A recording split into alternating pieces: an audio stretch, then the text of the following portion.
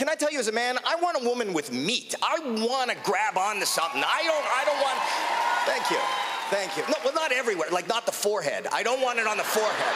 I got here yesterday. I was so excited to come. I, I packed so quickly. I forgot to uh, bring a toothbrush. I forgot to bring underpants. I went to the drugstore. This, oh, this was confusing. I asked where the toothbrushes were. The lady goes, you know, down aisle 14. I went to aisle 14. I went past, it's all the women's products.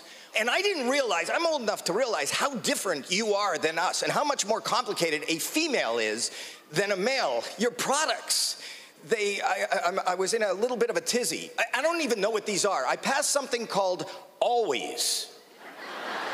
always. I don't even know what that is, but how can it be always? Not sometimes, not intermittently, not once in a while. What is going on with you ladies? Always. Why are you talking? I noticed you said something to her. You obviously have something always.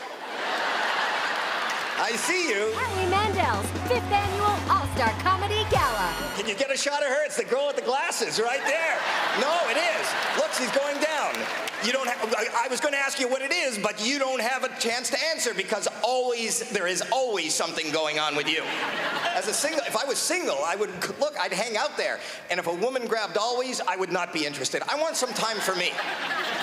This is another thing, another product, and this is not something I saw there. I saw in, in LA, there's a store dedicated just to Spanx.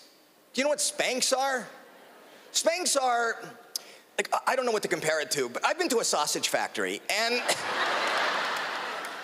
and you watch them stuffing the meat into the shell. This is, first of all, ladies, can I just say something? Spanx, for those that don't know, it's this kind of, um, it, it, it, you, if you have like a muffin top, you can just jam it, you can just stuff it all in. First of all, don't. Can I tell you as a man, I want a woman with meat. I want to grab onto something. I don't, I don't want, thank you. Thank you. No, well, not everywhere, like not the forehead. I don't want it on the forehead.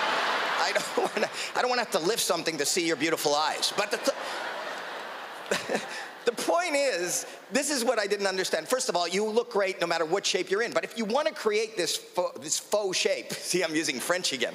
Faux. Anyway, I'm not good with French. Either is my whole family. My this is when my daughter was eight years old. She came up to, I swear, she came up to me and she said, "Dad, I think I just had a menage a trois." what are you talking about? And she goes, "You know that feeling where you've been there before?" I said, no, that's a deja vu. Don't ever mix that up.